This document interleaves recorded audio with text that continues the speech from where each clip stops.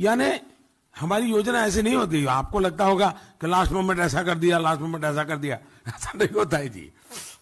हम बहुत डिटेल में प्लान करके चीज़ों को ऑर्गेनाइज करते हैं। और उस